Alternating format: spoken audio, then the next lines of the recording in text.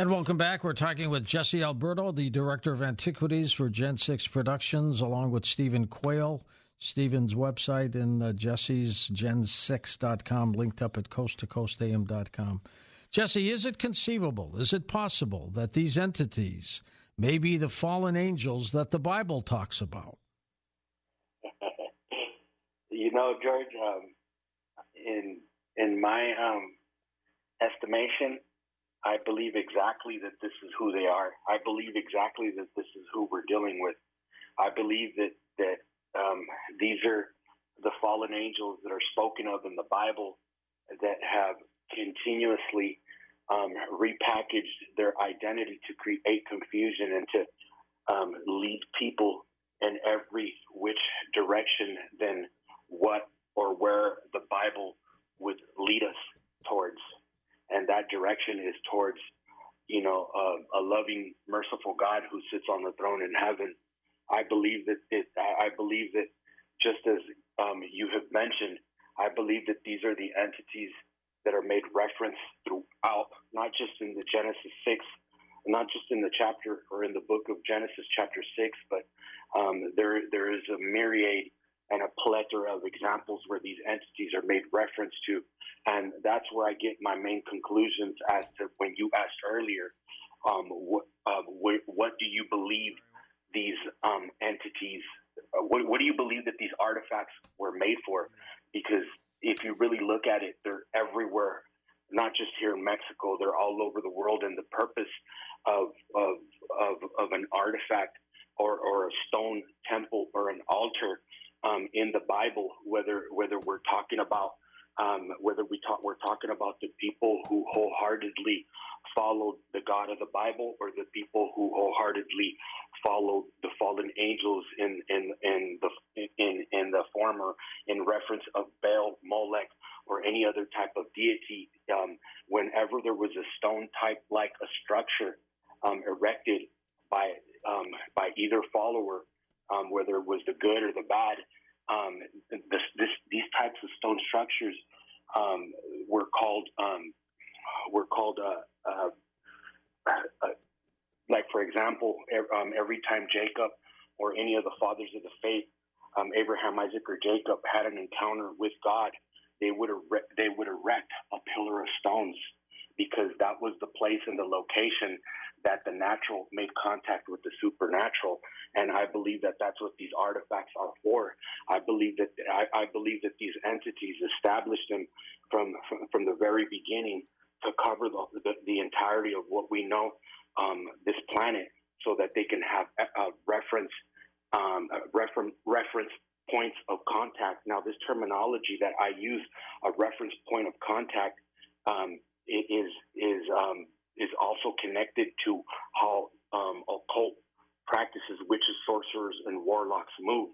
So yes, I believe to answer your question, uh, George, I believe that these are the fallen angels that are made reference in the Bible, and just how the Bible um, um, warns anybody who reads it with an open mind and an open heart. Um, it, it, it does tell, it does warn us in in many instances um, that that they will return, that they will be back, and I believe that one of the reasons why, um, like for example, for example, George, I know that you, you know this and your listeners know this, and I'm going to mention this so that so that we can connect the dots.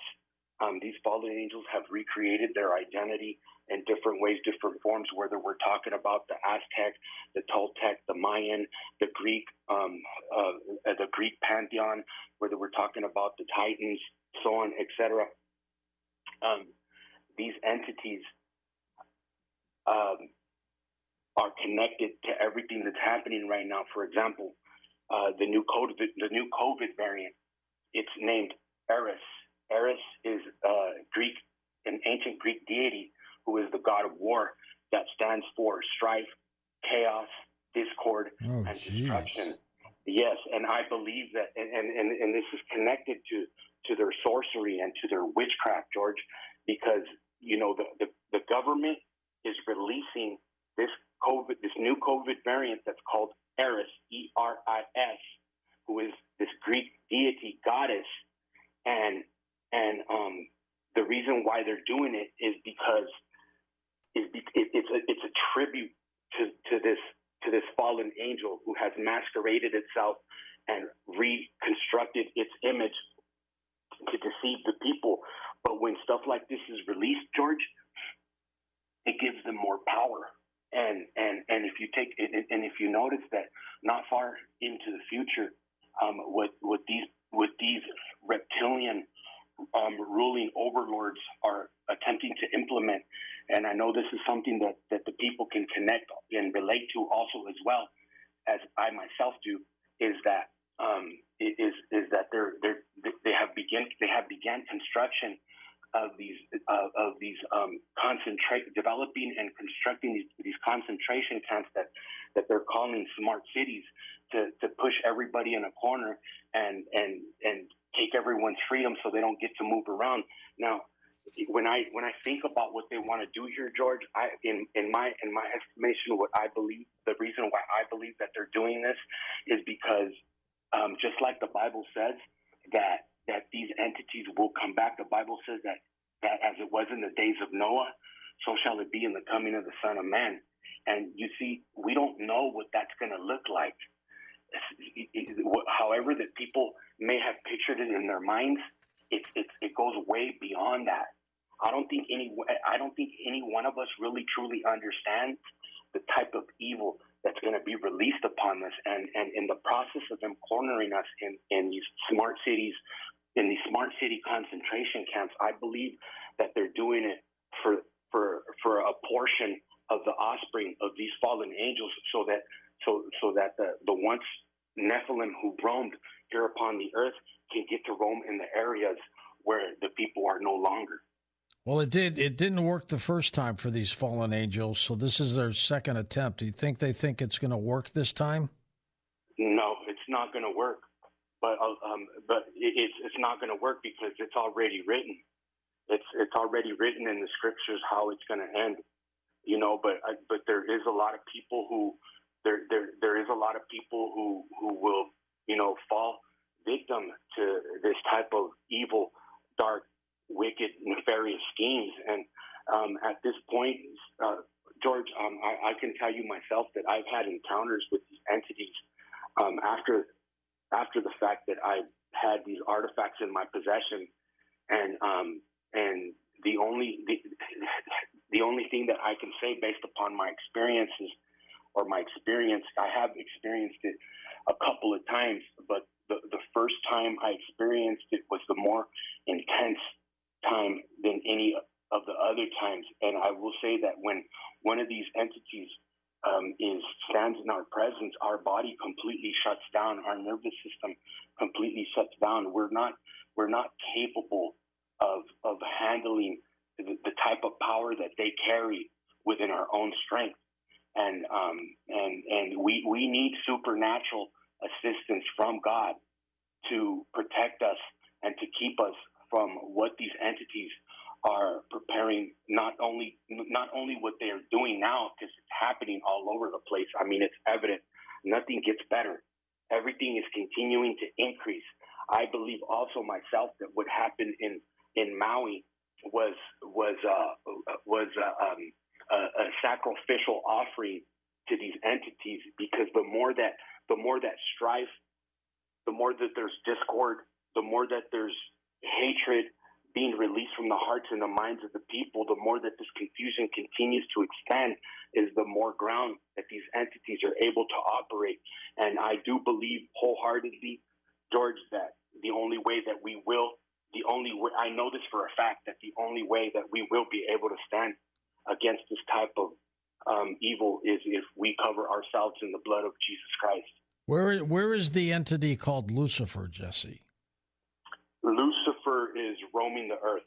According to according to the Bible, according to, to what the, the Bible reveals to us, Lucifer roams to and fro throughout the earth, um, seeking for people, seeking for souls whom he whom he may devour.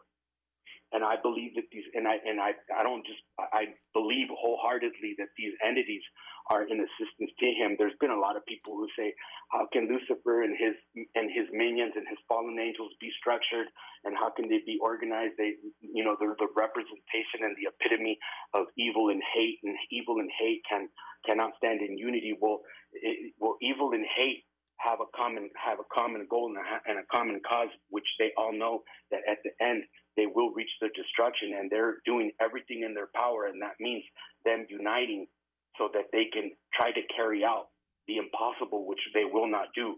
They're more deceived than anybody or anything else walking on the face of the earth, thinking that they could stand against the one true God who sits on the throne in heaven. Let's take some calls for you, Daniel in Panama City, Florida, to get us started. Go ahead, Dan. Hi there, George. Thank you so much. Remembering from the old AM 1430 days, I love how you've marketed yourself. Oh, yes. Um, and Jesse, I really like this content and the subject matter. Um, the comment about Maui, those the the town is close together. I lived there for 15 years, and they, they are maybe consumed with a little bit of licentiousness and uh, clinging to physical possessions. Um, but it's just tragic, uh, natural disaster could have happened. But I'd like to evoke the power of the God that uh, whose peace surpasses all understanding, and remind people to check in with Romans 12 in the Bible and help get centered so we don't succumb to these evil forces. And they are out there. Um, but I like these these uh, items that you found. You lost five of them, you said, and I wondered yeah. if you'd be able to explain in the most detail possible any imagery or graphics, uh, like body bodily positions or anything that looks like a chimeric being, like say the Egyptians had the the wolf head looking beings. And if you think these people are these descriptions, the people that made them are uh, with the evil forces that would like to procrastinate things on earth and perpetuate it so they can spend more time here where prophecy needs to be fulfilled, are they on the good or evil? And describe them in as much detail as possible. Thank you, George, and thank you so much, Jesse. Thank you, Daniel. Okay. Okay. Well, um, that's a good answer. That's a good question, and um, I will say that uh, anything or anyone who has been associated um, with with uh, the construction and the developing of these types of artifacts is not good. Um, none, nothing, nothing that that these artifacts bring is is meant or marked for good.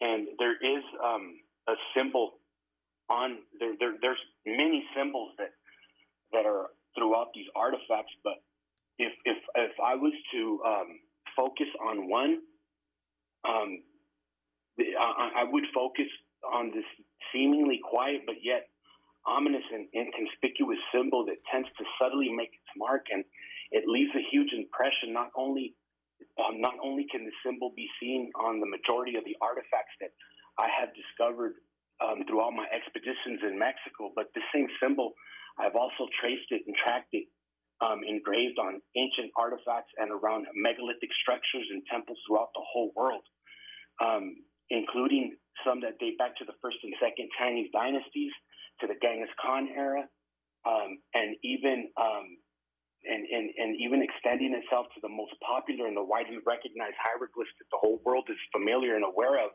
um, in Egyptian iconography, like the Ben Ben stone, and all across the Middle East are the Phoenician religious temples of Baal Tanit and Asherah worship in Sidona. And um, this symbol is is like I said, it's it's an extremely quiet symbol that's on these artifacts. Like the reason why I just mentioned the Egyptian Ben Ben stone is because I want the I want to give the people a picture and an understanding that I'm not just trying to promote my work and I'm and I'm just heavily just trying to push what the work that we're doing.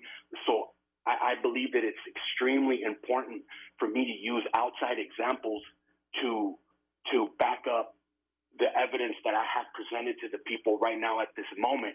And if you take a look at the at the Egyptian Ben Ben stone, the symbol that I make reference to is um, on, on one of the on one of the sides of this of this particular ancient stone that's um, in in uh, the Egyptian Museum is a, is a simple dot within a circle that I call the orb within the orb, And if we all know that, that, that, the majority of the sightings that, that we are witnessing and testifying to all around the world is of an orb, and if you take a look at the Ben Ben stone um, on top of on, on top of this this this quiet, inconspicuous dot-like circle, uh, expands some um, some angel wings over this orb, indicating that the essence and the true nature of an orb is that of an angel.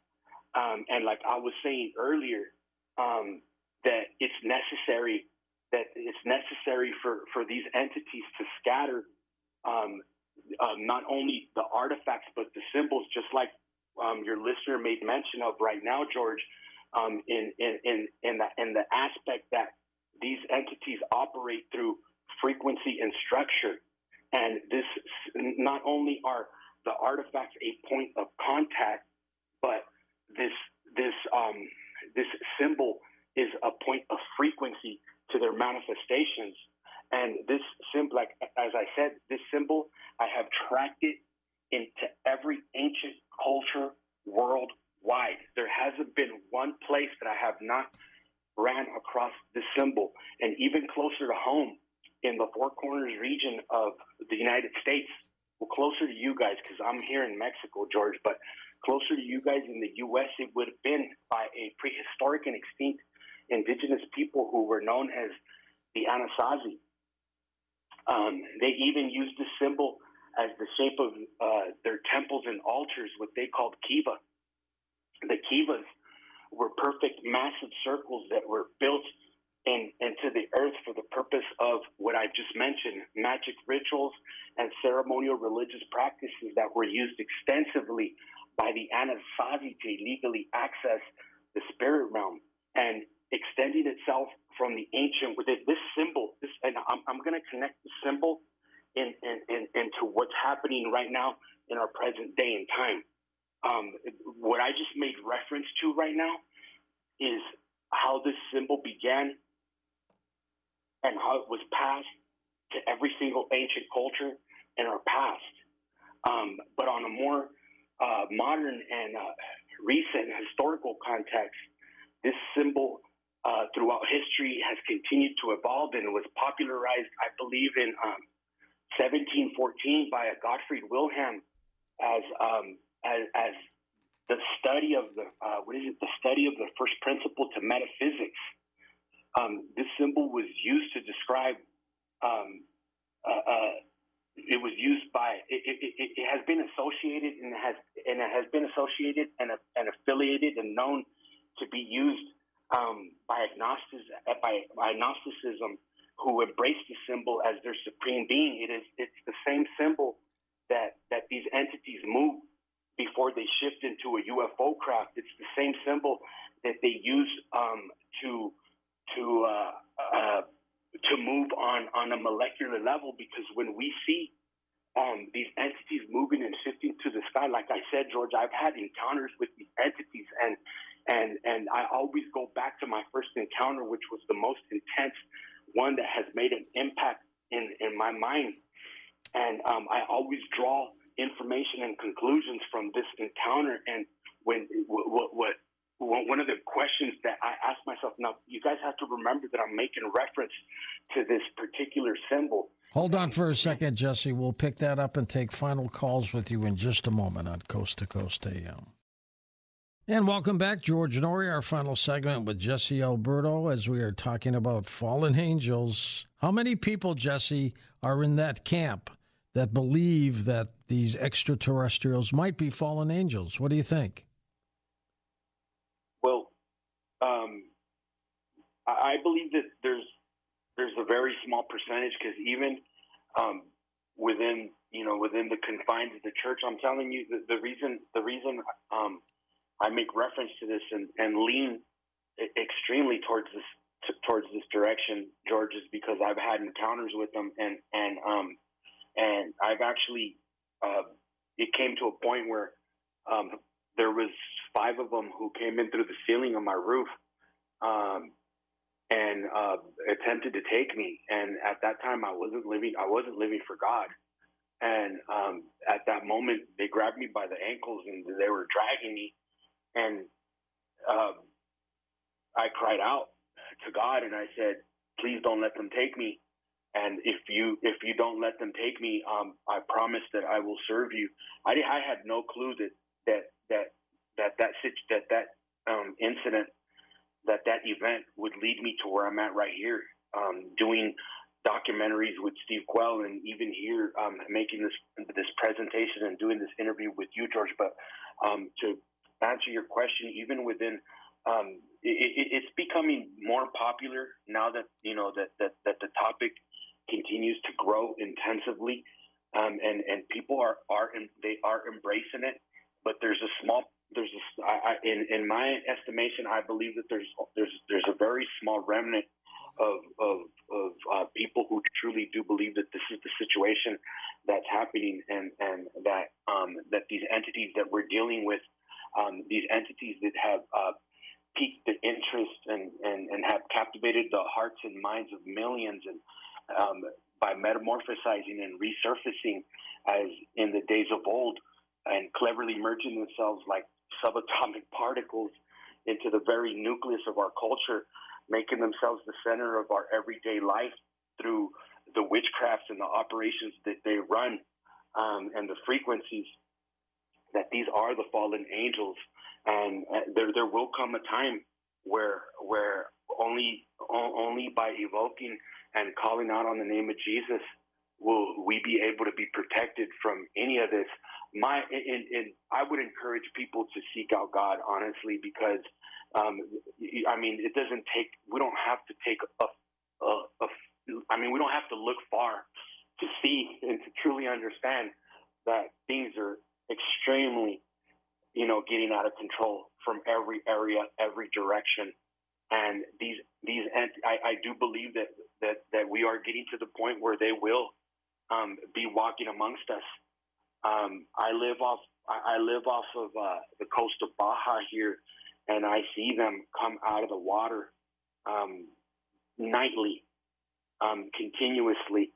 Um, they they uh, they have this predilection towards the water, and I've always asked myself, what is it that is in the water that these entities um, gravitate towards to that they that they must be using um, to to to push forward um, their agenda and their plans.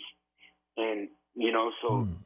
so um, so I, I you know I've started researching you know the essence of, of what you know it's not it doesn't take a physicist to figure this out, George. But um, when you know I, when we take a look at everything that's created around us, um, um, at one point or another, everything that alive that that is alive um, is alive through uh, water or oxygen, and water is made through uh, water, the water molecule is made through the atom, which is two hydrogen and um, one oxygen. But it's the hydrogen atom that's more um, uh, that, that I believe is more utilized.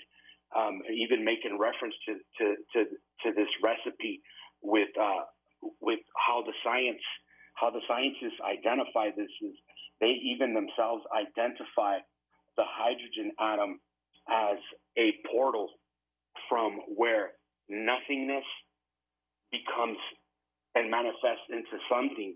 And like I've mentioned earlier, um, it, it, in order for these entities to operate within our proximity, in order for them to enter from the quantum realm which is the invisible realm that even the scientists don't understand, and and and and enter into our four-dimensional realm, which is space and time.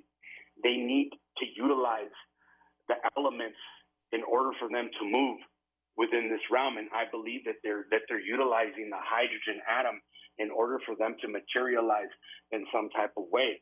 Now, if we take a look at at, at how the Bible um, has made reference to, to this in the way that it describes them. these entities are capable, not even only through the Bible, but through uh, the Greek, the Roman, the Aztec pantheon. These these entities are able were, have it has been known that they're able to to walk walk in a corporeal way, meaning um, as human beings or even uh, theriomorphic beings that are written on the on the walls and on the temples of, of, of um, megalithic. Well, they could be walking among. They could be walking among us. Let's go to final calls. First time caller Lisa in Chicago. Hi, Lisa. Go ahead. Hi. Um, you mentioned two sites, uh, Chupícuaro and Tulum. The artifacts that you keep referring to, which site are they from? Okay, I have um, I have the artifacts are from two different places. There's uh, in Tulum, we couldn't get in right there. There, um, we had no access. I had no access in that area, but it's in Tula, which is Allende, and um, and and also in Chupícuaro, Guanajuato, which is connected to Acámbaro, Guanajuato. But further down, extending probably about a couple hundred miles, give or take, you know, um, a few miles. Uh, it's in Lago de Cuitzeo. So the artifacts that that I'm presenting to the people as evidence um, come from Lago de Cuitzeo and Tula Allende. Let's go to Jose in Louisiana, wildcard line. Hi, Jose. Go ahead. Yes, sir. How are you doing? Uh, I've been a Christian for about 11 years now, and I've had some, you know, just odd experiences with, you know, the, the things you guys are talking about, and I really don't know who to talk to without coming off as crazy. Or, and I, I truly do believe, you know, these aliens are demons. But uh, how would I go about, you know, sharing my story to other believers about things that I've experienced? What do you recommend, uh, Jesse, for somebody who believes what you do and wants to talk to people about it? Oh, um, my, I would recommend that you don't talk to people about it for the simple fact that that first all, first and foremost, I, I would suggest that that you seek out God and that you read that you read the Bible every day. There's there's there's a plethora of examples in the Bible of how it is that we can deal um, with these entities, and, and and some are are evident and some are not so evident. But the more that I've learned is the more that I've learned by sitting in God's presence is the more that um, I have developed and been able to deal with these types of attacks. Um, you, you, can't even even the church is not ready for this. They don't accept this because uh, the church allows um, uh, the, the culture to dictate what it is and how they perceive the reality in which we live in. So um, I, my my uh, my advice to you would be that that um, and don't don't don't don't try to you know strike a conversation with anybody about this unless they would ask you about it. Like when I know a lot, and I but in my mind I I feel like I don't know enough, and and I also feel that I need to learn more so that I could be able to help people in times of need, and those times are coming. But my advice to you, as I said once again, is is just to seek the presence of God and and don't try to connect with people or anybody. If you're gonna if you're looking for somewhere to vent, vent to the Lord. Read your Bible. That's the only place that you're going to gain power. I, for myself, I myself for years kept this, you know, to myself because I mean, who can you really actually talk to about? And the only reason I'm able to, um, you know, talk about it now is because it's blowing up at the seams. But yeah, um, you know, just take it to God, take it to God, and and and believe that He will bring you to a place where He will show you with whatever it is that He reveals to you what to do with this information. East of the Rockies, Katie's with us in Pennsylvania. Hi, Katie. Hi. Um, I have a question. All right.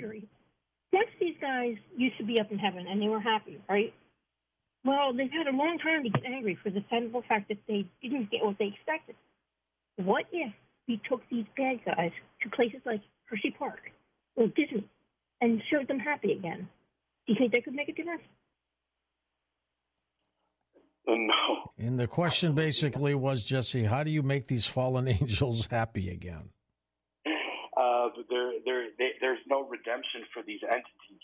Um, there's an there's an extra there's an extra biblical text that, that, that that's named that's called the, uh, the Book of Job, and and this this uh, book or the first book of Job, not the second or the third, um, but this book is it, it, gives us information that collaborates with the Genesis chapter six narrative and many other things. And and um, this book reveals to us that um, that these angels, uh, excuse me, the, the book of Enoch. I'm sorry, the first book of Enoch, not the second, not the second or the third, but um, that these angels came to this individual man of God, Enoch, and um, they asked him to intercede to God for them um, for forgiveness. And uh, uh, Enoch went into the presence of God and related the message on behalf of these angels. And God said, God's response to Enoch was, There is no redemption for them. And the reason why I believe that they have no redemption and, and they are destined to eternal damnation and judgment on the day of the Lord is because um, they have known God in a way that, that, that any, in, in a way that no human here on earth has known God. And they know the mysteries and the secrets to the universe. And because um, they were created and had stood in the presence of God and still decided to move forward with their plan and their agenda to rebel against God, therefore, thereby they have no redemption. And this is a call that, that, that is written and known, made by God Himself and our Lord Jesus Christ. Let's go to Joe in Monterey, California. Hey, Joseph, go ahead. Thank you for taking my call, George. Sure thing, Joe.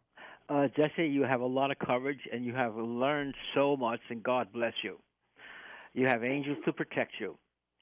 Thank yes, you. The war has already begun. Uh, this this this Armageddon has begun, and this war against extraterrestrial has also begun.